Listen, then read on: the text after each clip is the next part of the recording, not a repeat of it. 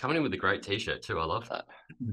I know, right? Yeah, I, I, I think I said something, but I, I think we were all speaking over each other. Yeah, that's the problem with the Yeah. the, the current situation of like we, we do these interviews by this, but you really have to kind of patiently wait for your turn to talk sometimes so it doesn't get lost in the noise. It's just like life, really. Dropping truth bombs straight away. I love that. Let's get deep. Well, dude, thanks for taking the time to hang out, man. No problem. I appreciate you doing this with the time difference. I know it's probably early over there right now, right? It's not that early. It's okay. We've just gone eight o'clock in the morning, so it's Oh, that's a okay, pretty okay, regular time for me. We're, we're all right. Are you a morning or a night Good, person? good, good. Awesome. Uh, when I'm home, I'm a morning person. On tour, you don't see me till like one or two in the afternoon. I'll just Is be that hard to not- adjust? no, no, no. It you know, it's not even really anything other than I just kind of catch up on sleep on tour because nobody really needs anything from me until those hours anyway. Great. Well, Yeah. as well sleep. Yeah, for sure. Not too much call for guitar solos, you know, around eight in the morning, nine in the morning. If you ever want to come and drop a guitar all around here, we will not complain. I'll allow it. what a way to start fair the day. enough. Giving you mon- your wake up alarm. You just shredding. I'm not sure my wife will love that, but that'll be all right. Yeah, exactly. Yeah, yeah. It's uh, it must be hard though. I have friends when they, they tour and like, particularly if they're morning people, they're normally up like six, seven, getting at it, and then you go on tour, and all of a sudden you don't get back into bed until after midnight every night. It must be a hard transition to be like back and forth. Your body's constantly out of whack. Man, I mean, the only thing that's hard about touring really is getting sick, and that's it. I mean, if these days at the the the uh with the luxuries that we've been afforded, it's like I I you know, I it, I can't I can't complain at all because I you know, I I went in Sum 41, we were on the bus, you know, and flying overseas and stuff like that left Sum 41 went back into a gmc van Yeah. and you know, had the chance to re-experience that so i'll never call it hard work Yeah, just confirming, like, Yeah. okay, cool. This does suck. I was Yeah. right. Get back, back the Yeah, way yeah, we're doing yeah. it was better. exactly Uh, look, I, I won't. Without further ado, I want to talk about the the new album, the double album. Uh, Yeah. what an undertaking! Congratulations! It's fucking sick. thank you It's so the Thank you, is so good.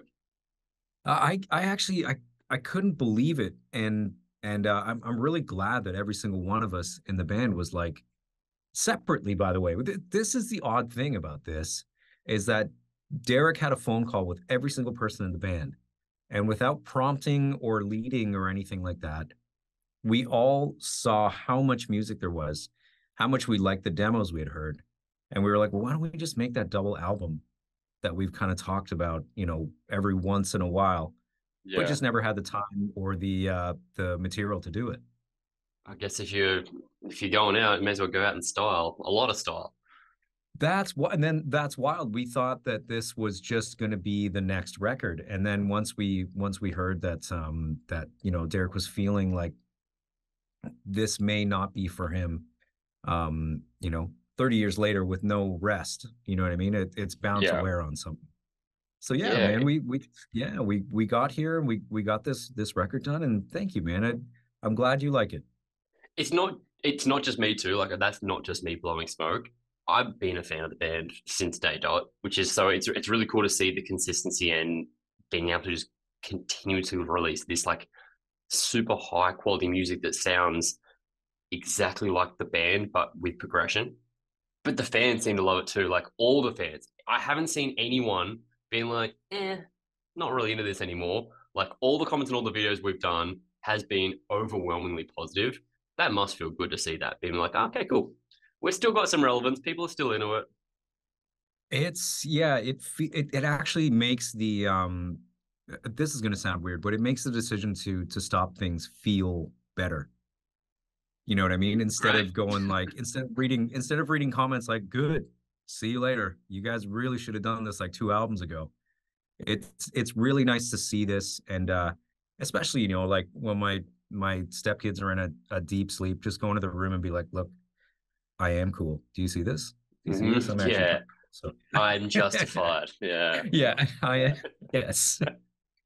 that's, that's all we're doing it for. Just now so the kids get the approval. Yeah. there we go. There we go. Yeah. It's uh it, that is what's gonna be one of my questions. So you've kind of already addressed it. But does that Hmm. was it a bittersweet thing of being like, cool, like we've got so much music that we're let's get this recording done, and then having that conversation of, hey, look, I think it's time to call it. Was that a unanimous thing? Was that something that there was any like, oh, let's discuss this first, or was it no? I think this. If you're feeling that way, we're all feeling that way. Once we once we understood that one of us wasn't um wasn't feeling like they could put their their full effort into it and and feel it the way we all do, it's unanimous. It doesn't it doesn't matter. We never wanted to be one of those bands that um continues under under the name Sum 41 and and we just we don't have a good lineup going. You know what Yeah. I mean? It, it all the lineup always the band would always continue on if somebody could take over for the person leaving. And I th- I think that the the void that Derek leaves, it's just it's too big, absolutely Yeah. too big. And um, I've had such a good time being back in the band with you know who is one of my not only the person that I have the best rapport with musically, eh, just one of my oldest and dearest friends. Yeah, I love that. Yeah, it was uh when you came back it was there was like a, a palpable sense of excitement from the community the music community being like oh dave's back which must have been It- nice on you. Did you feel that? You know i when me, me myself i just feel so wrapped up in the um in the the i guess the job you'd call it. It's not really a job but I I just feel so wrapped up in what i have to get done and how i have to get there.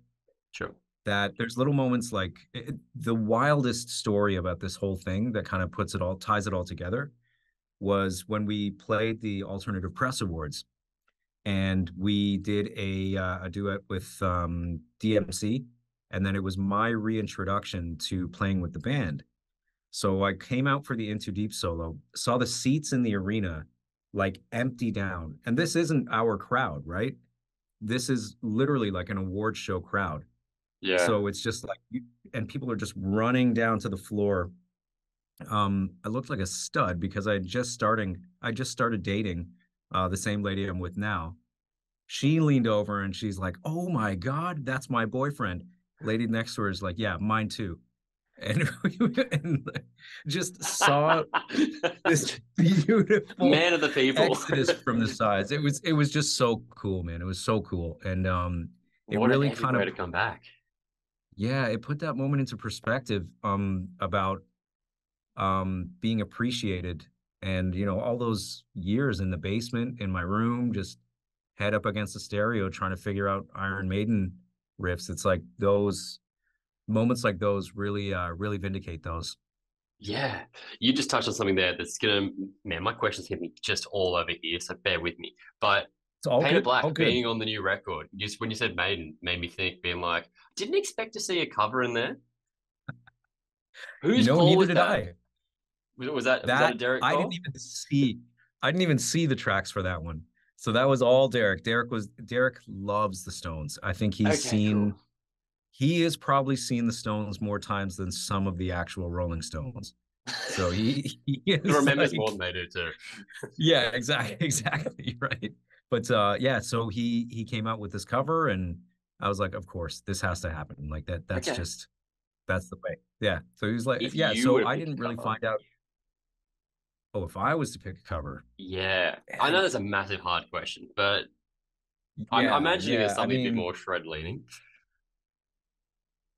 Eh, I mean, there's so many things. I mean, uh, just the other day, I was I was driving around the car. I was like, oh, you know, Saturday Night's All Right for Fighting. That'd be a fun song to cover too. That's a banger, You yeah. know what I mean?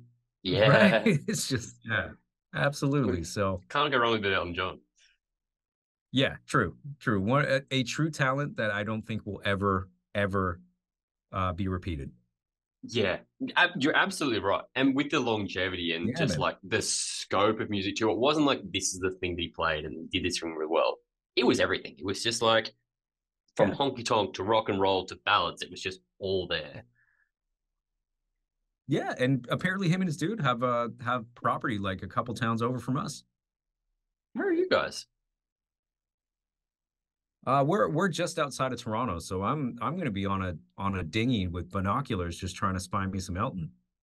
Do you, you want to, I can give you a little uh, name drop here. So I'm actually friends with Dave, his husband.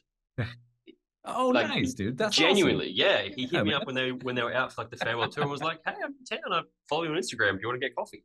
And so I got to like, and he's the nicest dude in the world. So I'm going to keep my fingers crossed that you actually get to become friends and hang out because he's lovely. Yeah, yeah. Just just tell him that the the dude in the scuba suit and the binoculars that means no harm. Don't worry, he's lovely. He just wants to get a little closer. Yeah. I love that. I love that. So talk to me. I want to know from the new record, have you got a favorite track? What stands out for you? Do you are you someone that leans towards the more metal stuff or do you like where the pop punk stuff's at? I know it's picking a favorite child, but been- you know, I I love the pop punk stuff because um the I've always I, my my core taste because I was raised on um things like reggae and uh and you know like old old ska and stuff like that. The uh I always love us there when there's a simplicity to yeah, okay. a catchy. So I do love the pop punk stuff. Uh, I was just playing it today. I would probably say there's a song called "I Can't Wait" on uh, on the uh, the Heaven side that I absolutely love. Uh, was having a blast playing that today, and then I don't need anyone. I was having a lot of fun with the solo on that one today. I don't need anyone's Yeah. favorite track, so I'm really glad you called that one. Yeah, yeah, so. I'm, yeah, with those, yeah, with that solo lick, with some of those solo licks, I got to sneak in a few notes that I don't usually uh get to play. So yeah, that was it was it's kind of cool. It's. I feel like this album has, as I said before, it still sounds very Sum 41 e. That's now I'm, I'm, I'm making that an adjective. Yeah, Um, but Yeah, it's it. Yeah, there's still newness and freshness to it. Like it doesn't sound like it's recycling. Oh, it's just exactly what we've done before. There is excitement. Mhm. Exactly like I that that song is one for me that stood out because it sounds like you guys, but there's some like elements in it that are unique and new.